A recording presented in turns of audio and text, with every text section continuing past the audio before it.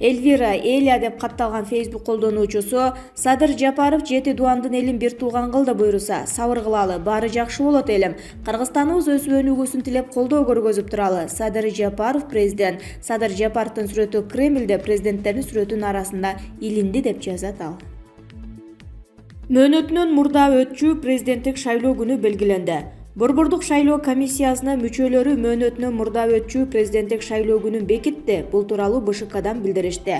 Маалыматта айтылгандай бшкнын төрайымы мамлекет башчысынын милдетин аткаруучуга шайлоону үч айдан кечиктирбей эки миң жыйырма биринчи жылдын онунчу январында өткөрүүнү сунуштаган белгилей кетсек борбордук шайлоо комиссиясы жыйырма биринчи октябрда парламенттик кайра шайлоону жыйырманчы декабрга белгилеген. Көп өтпөй президенттикте парламенттикте шайлоону токтото туруу жана конституцияны өзгөртүүгө багытталган мыйзам долбоору жогорку кеңеш тарабынан кабыл алынып парламенттик шайлоо эки миң жыйырма биринчи жылдын жаз мезгилине жылган орозайым нарматова көптөрдүн максаты ууруларды камоо эмес эптеп мадумаровду жаманатты кылуу экен. Каралоо болуп көрбөгөндөй күчөдү. Урматтуу бүтүн кыргызстандын мүчөлөрү жана колдоочулары мадумаровду бекеринен жамандап жаткан жок. Ал чындыкты айтканына чычалап түбүнө жетели деген саясат жүрүп жатат. Анткени карапайым калкты алдоого мадумаров жол бербейт. Буйруса мадумаров да президенттик шайлоодо атаандашат. Ошондуктан максималдуу каралоого каршы туруңуздар деп жазат ал айдар акаевдин өлүмүнүн себеби белгилүү болду. Кыргызстандын туңгуч президенти аскар акаевдин уулу баласы айдар акаев алкоголго жана баңгизатка ууланып көз жумган. Бул тууралуу укук коргоо органдарындагы булактарына таянып россиянын пятый канал телеканалы билдирди. Эскерте кетсек айдар акаев бешинчи февраль күнү каза болгон. Анда маркумдун жүрөгү токтоп калганы айтылган. Акаевдин сөөгү москвадагы трое куров көрүстөнүндө жерге берилген. Телеканалдын маалыматы боюнча жарым жылдан кийин укук коргоо органдарындагы ишенимдүү булактар өлүмгө алкоголь менен кокаиндин аралашмасынан кийинки уулануу себеп болгонун айткан. Текшерүү дал ушул нерсе жүрөктүн токтоп калышына алып келгенин аныктаган. Белгилей кетсек айдар акаев улуу бир тууганы бермет акаева экөө эки миң бешинчи жылы жогорку кеңештин депутаты болуп шайланышкан.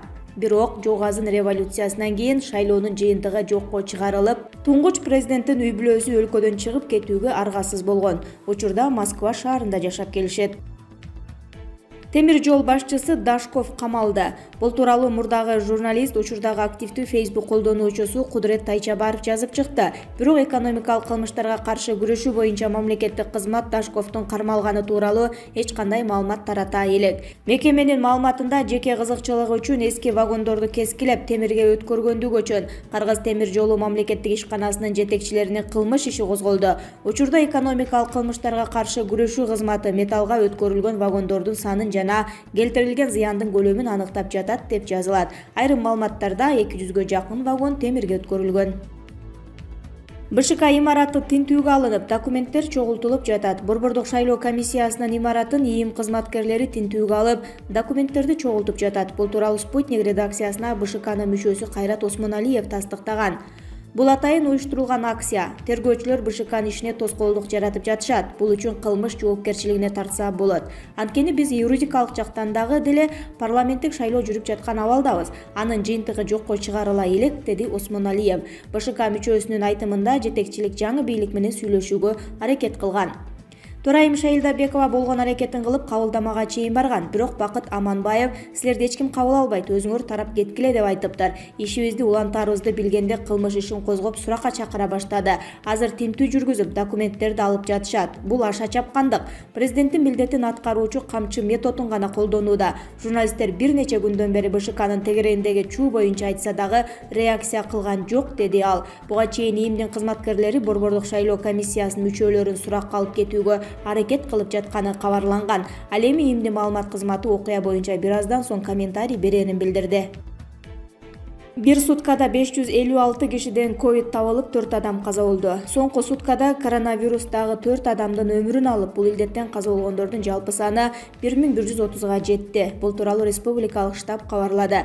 Маалыматка караганда каза болгондор баткен чүй ош областтарында жана бишкек шаарында дарыланып жатышкан. Ал эми бир суткада беш жүз элүү алты киши коронавирус жуктуруп алса эки жүз сексен жети бейтап илдетти жеңип чыккан. Жыйырма төртүнчү октябрга карата кыргызстанда коронавирус жуктуруп алгандардын жалпы жалпы саны элүү беш миң бир жүз кырк төрт болду. Ал эми кырк жети миң үч жүз отуз жети адам айыгып чыккан.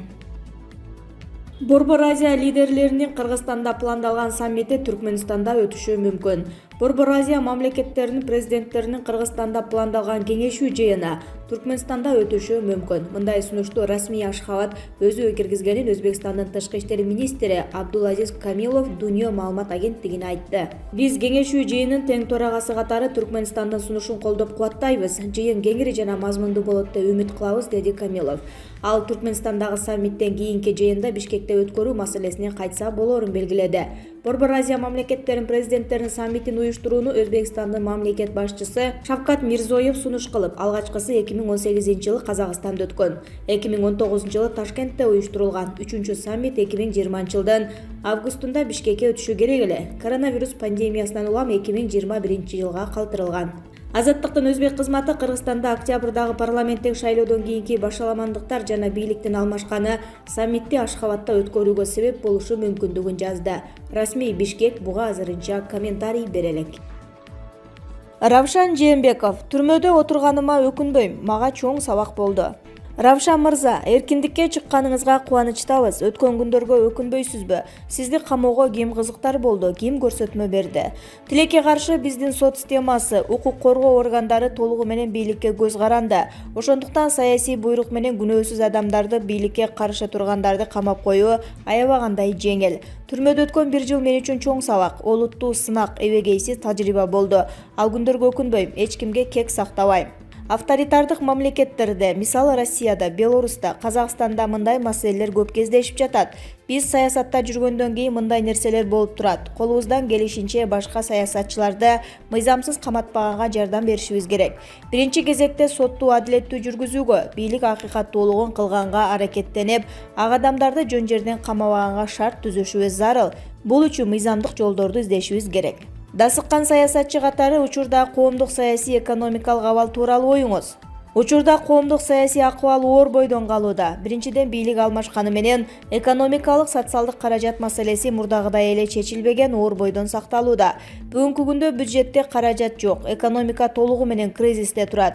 Социалдык абал жумуссуздук жакырчылык пандемиянын кайра каптап келе жатканы кыштын жакындаганы абалды мурдагыдан да бир топ корчотуп бара жатат бийликке болгон ишеним бат эле өзгөрүп кеткен жок. Бийлик алмашканы менен оор акыбал чечилбей адамдарда нааразычылык мурдагы деңгээлде эле сакталууда. Ошондуктан жаңы өкмөт бийлик биринчиден социалдык экономикалык абалды чечип каражат издегенге көбүрөөк көңүл бөлүп кичинекей ишеним бар кезде кандайдыр бир реформаларды жасаганга аракет кылуулары керек кайрадан эле мурдагыдай шайлоого баруудан өзгөрүү болобу. Белгилүү саясатчы азимбек бекназаров конституциялык реформага барбаган соң чоң өзгөрүү болуп кетпес деген партиялык системага нааразычылыгын конституция бузулганын айтты.